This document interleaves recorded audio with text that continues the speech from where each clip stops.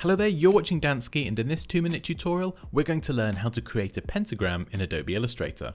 So to start with I've created a new artboard, 1000 pixels wide and 1000 pixels high and I'm going to go over to the toolbar on the left, left click and hold on the rectangle tool and go down to the star tool and we can just left click and drag holding shift to create a 5 pointed star and we have lots of angles here but this isn't quite the right star shape that we want to create. This is the default star shape in Illustrator. So let's select this and hit delete or backspace and again go over to the star tool and just single left click anywhere on the artboard.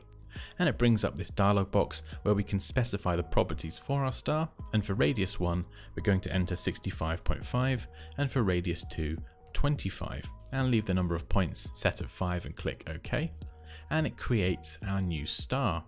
And we can scale this up holding shift so we keep everything in proportion and we'll just position this in the center of the artboard.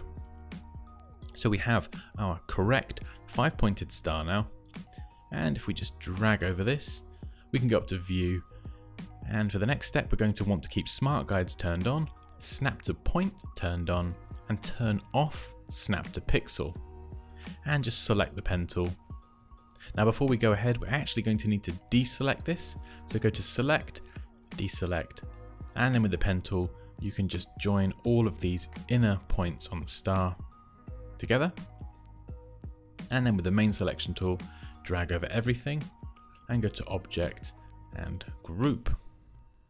And we can then turn off the fill. So we just have a black stroke and from the stroke panel on the right, we can adjust all of the properties of our star and just make sure align stroke is all set to the one on the left here. And there we go.